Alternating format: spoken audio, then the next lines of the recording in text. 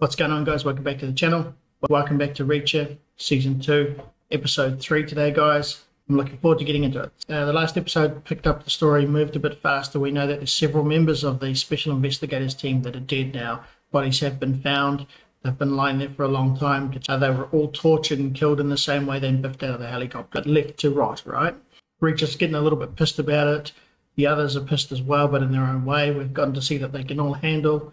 Obviously, we knew that they were going to be able to because they were part of the special team, right? And no doubt, part of Reacher's uh, protocol in his team would have been to upskill and retrain them as well. So we've definitely seen that, and it is cool to see the team environment in play where everyone is sharp, they're all aware, they're all looking for the same things because they all worked together for years, right? The great thing is you've got four of them working together and you're all working in each other's blind spots, which is just fantastic. It's a great way to be in a team, right?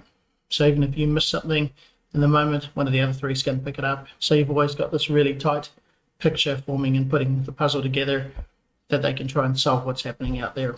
And hopefully get to New York and start to piece some things together and hopefully get a lead on Robert Patrick's character. Apart from that, guys, the show's actually taking off nicely and it's more interesting than I thought it would be. And it's definitely, I love the pacing that's happening now. So, anyway, guys, let's get straight into episode three, see what happens. It was right there while it all happened. Enough!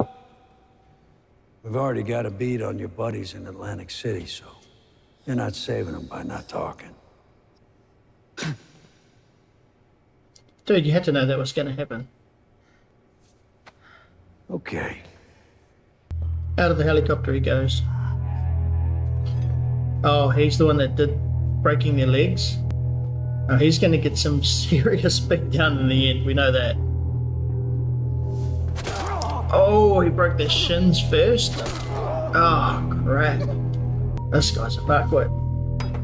Get him ready. That guy's a son of a bitch. He was still alive when they dumped him. You talk, or you fly, asshole. Holy shit. What's so funny? I was just thinking about what the big guy's gonna do to you. nice. Awesome. He was a good soldier.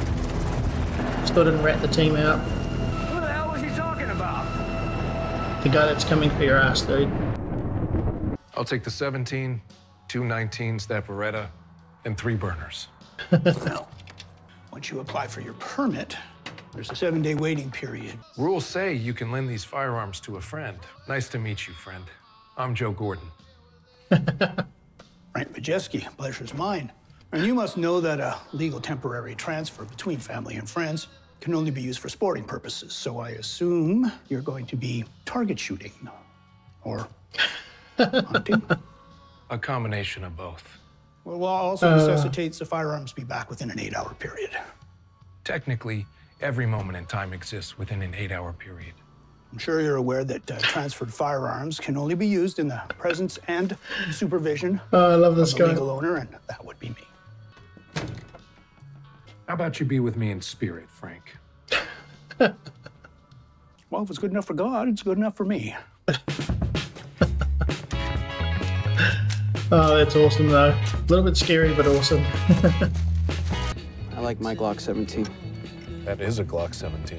Just listening to a 200 hitter complain about his new bat. Hey, I'm a great shot. You're average. Dixon backed me up here. That time in Biloxi. was the luckiest shot I've ever seen. Thank you. Man, you couldn't hit a donkey's ass with a banjo. Screw you guys. All I'm saying is I want to use my own personal sidearm, okay? One, a bad carpenter complains about his tools. And two, you really want to get busted shooting people with a gun registered in your name? Beretta 92, like Swan used to carry. You know, these guys we're going after have to be pretty good if they've taken down four of us. Any reason I shouldn't pull over? You think anyone found out about the friends you and Dixon made in Atlantic City? Unless they decided to report concrete. Well, maybe the pawn shop owner set the cops on our tail. Wake me up if something happens. I'm gonna be arrested, but I got a feeling it's gonna take a while. I'll pay you back the bail money. Don't forget the room and the plane ticket. What are you waiting for? Hands on the roof, Paul Bunyan. How can I be of service? You went to law school, right? Yeah, Rutgers. So, kinda. You can kiss my ass. This guy's my lawyer. Good for you. Shit. If you separate us during transport, you'll be creating a contestable issue. None of that is remotely accurate. Rutgers. I knew you guys would get scarce once I was unjustly assaulted, so I pulled all the security footage from the car rental companies at the airports until I saw you talking to that number in a business suit. Why do you have toys back here? Hey, put that away. Oh, is this your icebreakers for the kiddies on the playground? That ain't even funny. Frances Neagley, Karla Dixon? This parking pass was found in a person of interest's car. New Age has over a thousand employees. The victims happen to be our friends. I'll see what I can find. Thank you. For the record, that was a sucker punch, okay? Technically, the airbag sucker punched you. I beat you up. Fair fight, I'll turn your lights out. And when this is all over, we're gonna go again, and I'm gonna beat your ass to the ground. Oh, why don't you just take off the cuffs or send the arrest and you guys can settle it right here? What kind of lawyer are you? The best the 91st ranked law school in the country can produce. I got bad news. Our friends Sanchez and Orozco are dead. I heard directly from the Catskill PD. How the hell you guys know about that? Guess we're just two steps ahead of you, Sipowicz.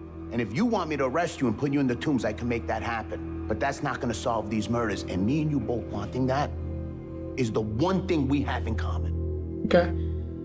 When I looked into the 110th, Calvin Franz's phone logs had multiple calls. But he didn't call you, though. Why is that? I don't have a phone. Now you're all being killed off. Something's going on, and I think you guys know things. Look, I just want to get to the bottom of this shit. Okay. If we share what we've got, you better have something for us in return. He's in restraints, but he's show still that parking begging. pass 6322 was issued to a man named Trevor Seropian. Did a murderer really come here for a job interview? That's what we're gonna find out. She's genuinely concerned about it.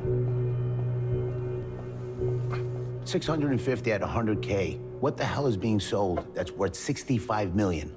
It could be a transfer of 65 million, a 65 million dollar cover up, a 65 million dollar bribe. Well, whatever your friends were involved in, it was big enough to get them killed. Read into it any way you want. I'm reading an insinuation that my friends are criminals. And if my read's correct, you and I are gonna have another problem. I'm a detective. I gotta be open to all the possibilities, even the ones you might not like. Well, there's one possibility I've been very open to that it's you who's in on this. I'm no dirty cop. Seems like you want to keep things off the books. Say I'm dirty again, see what happens. Tough talk when I'm cuffed. Right, these two are pretty good. They're made of the same stuff. I don't think he can take Reacher I don't take envelopes. You got that? He has got conviction. He's a straight cop. And, uh, detective. Awesome. We got a suspect.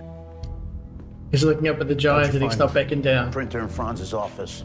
Had the tech geeks look it over. They found an unfinished job in the queue. You're not the only good investigator in the room. Good call. Azari Mahmoud. He's known to Interpol as a weapons broker. He's a ghost. No pictures of him anywhere. Sanchez and Orozco dug this guy up for Franz. AM, um, it's the same initials. Same initials as what? The list of aliases we found on a flash drive that belonged to Franz. This guy's name most likely isn't Azari Mahmoud. You're gonna want DHS to flag all of his aliases. It's a pretty good reluctant team up here. This case just got a whole lot bigger than what we thought it was. Yeah, for sure. This guy probably had a few too many soda pops, got handsy with some guy's girl, push, shove, from outside, bang, bang. What'd you find out? We showed pictures of Private Sims to all the employees. No one recognized him. His pant cuffs are wet. A Couple potholes back there filled with last night's rain. He was running for his life. Look how the ink smudged. Came off a glassine wrapper. Lieutenant Colonel. Oh, cut the shit, Reacher. I'm in my Wranglers, for Christ's sake. So, what do we have here? The kid from Outbase stealing drugs? I don't want to assume. Assumptions kill. This is what the 110th was created for, right? You and your team open the file and dig in. Roger that. Swan, you were half right. It's a fighter kite. I Saw these all the time in Afghanistan. Dixon. Boss. The aviation fuel case. Let's pull that file. Might know what was weighing down all those planes. We're gonna find those fuckers, and they're gonna learn exactly why you do not mess with the special investigators. Roger. Nature sure knew what he was doing when he put us together, didn't he? Guy's got good instincts. Guy's got good everything. He keeps everybody at a distance except you. That's just because I don't press the issue. And yet you two are the closest in the 110th. Hmm. So how'd that happen? Right, each page is a month, seven of them, but not every month has the same amount of days. It's not just any seven months, it's actually the last seven months. Oh, I mean, you should have seen it. Biloxi police chief said it was the most incredible shot he'd ever seen. I agree. It's like Mr. Magoo finally finding the staircase. Eat shit. We got a recent hit on this AM guy. Recent, like? Soon as AM checks in, we got him. I think really is just trying to do his job. It's cool.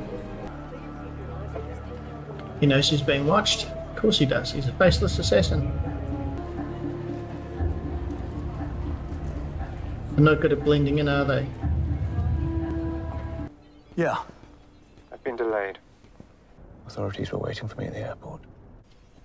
My IDs are burned. But how are you gonna get into New York without an ID? This guy's awesome. Shit, she's right. Of course she's right.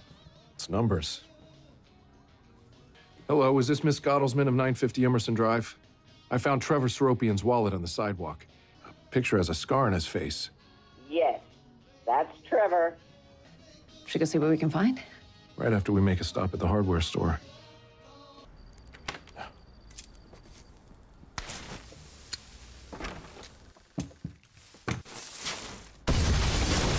Oh shit. Nice. they made an IED from the hardware store. oh, that's so funny. Tier left. Negative. That door's a distraction. There we go. Oh, you should have hand. Through the door behind you.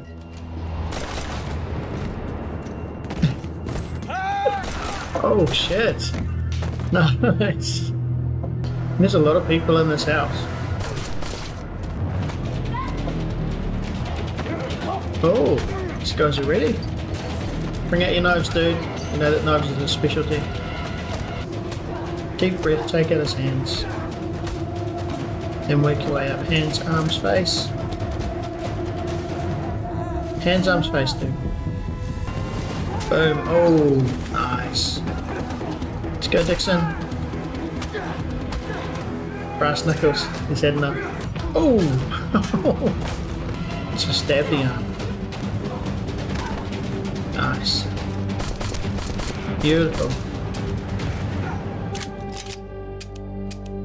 Empty. Good shot. Donkey's ass, meet banjo. Fucking bulletproof vests.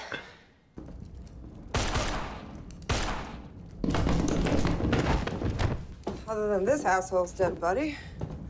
All clear upstairs.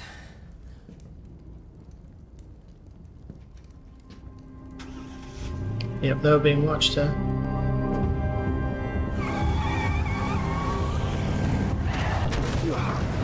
Right, she's going across the rooftops.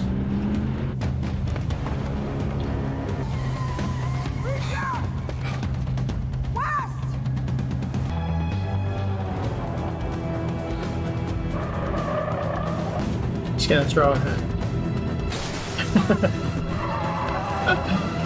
uh, who is this guy? Who sent you? Brian Collins. Who do you work for? Dude's having a heart attack. Are you having a heart attack? Gotta be kidding me. hey! Collins! Really? Asshole. Have to assume no survivors. No. Guy in the car was from New Age. Outside muscle. Guy just left dead was here to make sure they got the job done. Bet you wish you had a change of clothes now, huh? Have a feeling the night's not done with us yet. A lot of angry and a lot of balds about to blow into town. Evening, Russo. Close the door. A pipe bomb? In suburban fucking Queens? What were you thinking? We were thinking we were being set up, and there were hitmen who tried to kill us in Atlantic City. So you were never going to mention that? While O'Donnell and I were being unlawfully detained by you, Neagley and Dixon visited New Age. An assassin left his address. We had the same question. Someone wanted us to check it out. So you four guys just decided to walk into a place where you knew people were waiting to kill you. Well, in our defense, we did blow it up first. Unfucking believable. we got confirmation this all goes through New Age. So you get this from the guy you shot, blew up, or the asshole who died by barbecue? He died from trans fats. Where's his car? We decided to take it with us last minute. Plate swap parked out back. If we're gonna help each other, I gotta know that you guys are not gonna go rogue. AM never showed up at the airport. So he knows he's being watched. But there's no way his plan, whatever it is, isn't still in motion. He's a straight cop. In the meantime, I could use this to support a warrant on New Age. And let me give you a number so you don't have to come around where you're not wanted every time you need to talk. I thought you didn't have a phone. It's not mine. It belonged to someone I killed. no more fucking cowboy shit. what are we gonna do now, boss? Saddle up. Because we're about to do a whole lot of cowboy shit. Assignments. Server room. HR. Director of Operations Office. I'll take everything else. No more than two minutes to get what you can and meet at Dixon's car. And if I'm late, don't wait for me. Who, uh, Major?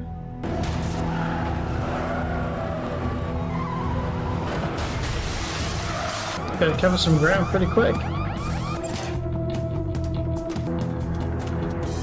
This is so cool watching the team move.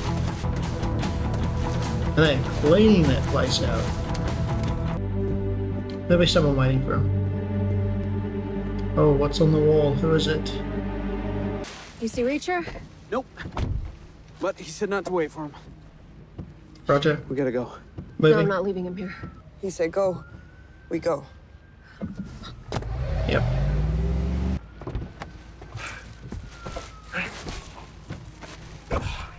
Can't believe you were gonna leave me. Asshole. Dixon. Yeah. Torch. No fucking way. Holy shit, it's Swan. He was working at New Age with the people who've been trying to kill us. Okay. Alright guys, that was another good episode. You know, the story's moving along super fast now and it looks like Swan was somehow involved. The question is, was Swan the guy that uncovered everything then went to the rest of the team? Or was Swan, like Reacher said, working with them right from the beginning and therefore working against the team? But uh, yeah, another great episode, like I say, and all the humours there, especially the dynamics with the four of them giving each other shit left, right, and centre. Um, I love the dry humour. I love that we're, we're getting to see that uh, textbook Reacher back again, right? You know, with his one liners and he's dry and he's sort of abrupt and he's so robotic half the time, isn't he? And that's what makes him so funny. Uh, even his own team are just like, they look at him sometimes like, what the fuck? And it's just so funny to see that dynamic in the show and in his character. So yeah, the team's badass. Four of them going in with their homemade IED, blowing up the assassin house and then taking them all out. There are a couple of good fights in there though, right? A couple of them put up a good fight. They had vests, they were ready. But it's kind of weird that their, what would you call them, their Overwatch guy, unfit, older, died of a heart attack. That's kind of weird, you know, because in that situation you'd think the last man down needs to be one capable of carrying that message out to everyone else uh, up the chain, right? And that guy was not in a fit condition to be able to do that. So they were obviously just hoping he's able to drive away, which he wasn't able to because a barbecue went through his window. But yeah, Swan in the picture, that's definitely pointing to something. And I think it's possible we're erring on the side of bad rather than good. And I think if he is in there with Robert Patrick's character, he's got some shit coming his way, especially if he went against the team. I don't know, but yeah, I'm enjoying it, guys. I'm really enjoying the season. It is way better than I thought it would be, and interesting as well. You know. But anyway, guys, what did you think of this episode? Put the comments down below. Um, I look forward to hearing from you. Any hints, tips, any theories, anything you may know from the books, put that down below as well. Love to hear your thoughts. But um, as usual, guys, give this a like, share it around, all that other good stuff. I really appreciate you. And uh, that's going to be it for me on this video. I'll catch you on the next episode.